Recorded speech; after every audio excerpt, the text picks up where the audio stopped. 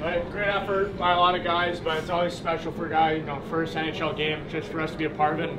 First NHL point.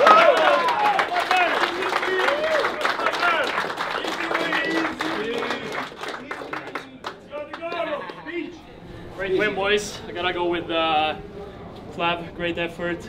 First point, first win.